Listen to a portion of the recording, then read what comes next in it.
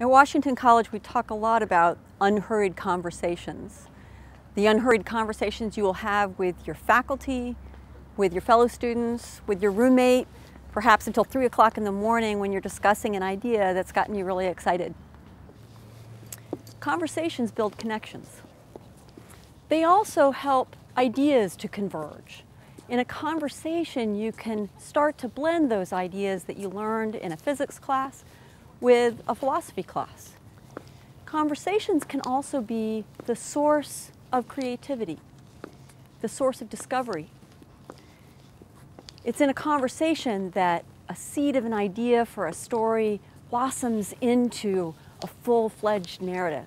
It's the place where an inkling of an idea for a senior thesis can turn into a full-blown research project. It's in unhurried conversations that we transform ourselves. And that's what it means to be a liberally educated person.